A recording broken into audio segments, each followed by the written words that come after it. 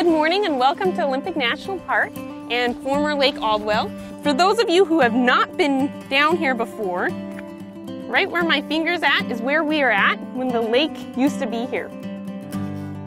So you can imagine if we had been here, you know, five years ago, for example, we would be underwater swimming.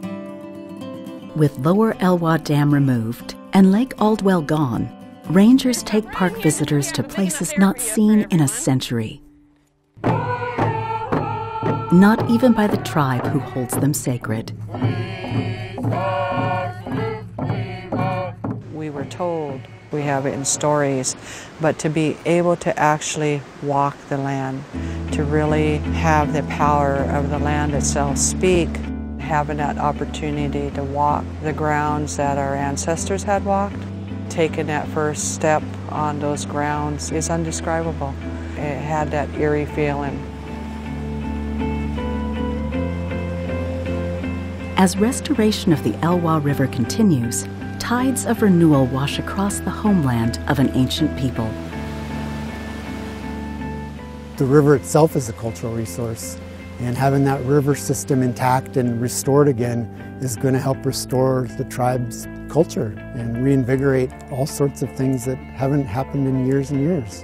It's been long overdue, uh, something of a hundred years of uh, challenges that our elders and our ancestors have gone through. The Elwha has been home to the Clallam people since time immemorial. I have some flakestone tools that came from the site here in the valley, but this is just a really small part of their entire material culture. The Elwha were one of the most sophisticated and complex hunter-gatherer cultures in the world. If you have full-time artists then you're not having trouble feeding people and you're not having trouble keeping a roof over people's heads because they can afford to do that art. At the heart of the tribe's well being was the abundance of salmon in the river. One of the major questions attached to dam removal is how many adult salmon will return to the Elwha. We're using this new technology, the sonar, and it's counting the number of adults, specifically steelhead and chinook, that are swimming up the river. You can think of it kind of like a flashlight of sound going into the river, except it's actually 96 flashlights highly focused. So we get sort of movie-like imagery, if you will, of these fish swimming by. The next time Chinook salmon enter the river, they'll have access to the entire watershed. They'll be able to swim right through glines and recolonize the entire river the way it was historically over 100 years ago. Just upstream, the remnants of Glines Canyon Dam will soon make way as crews prepare for a final blast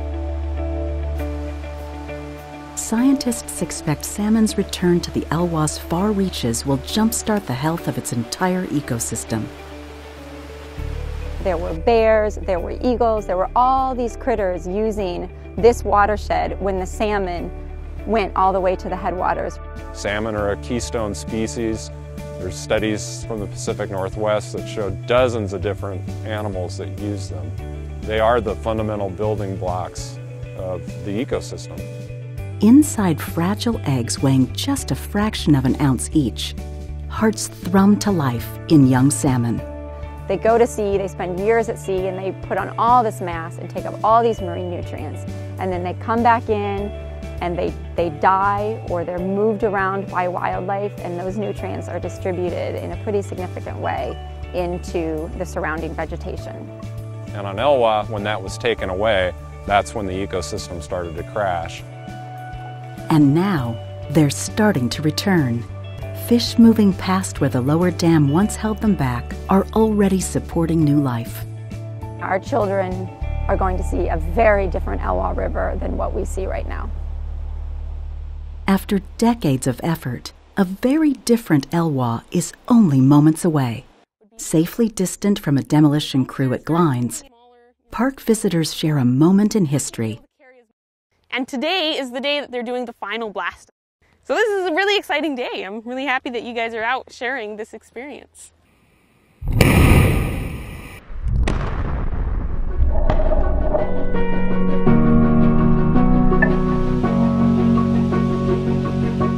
We had our last blast on Glines Canyon Dam, and so we've essentially opened up the river for whatever wants to come up the river's biggest and most celebrated fish are back.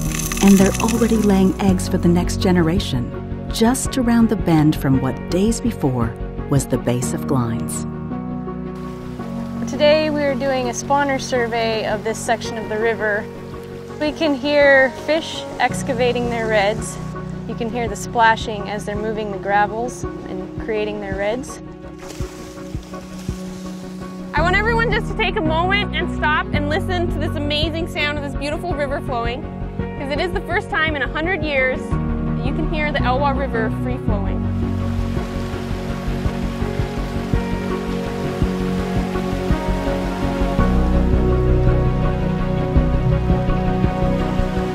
It's really inspiring and humbling to really recognize uh, the power the river has in its own course and in, in its own meaning. Having the river itself be free as what we're, we're listening to today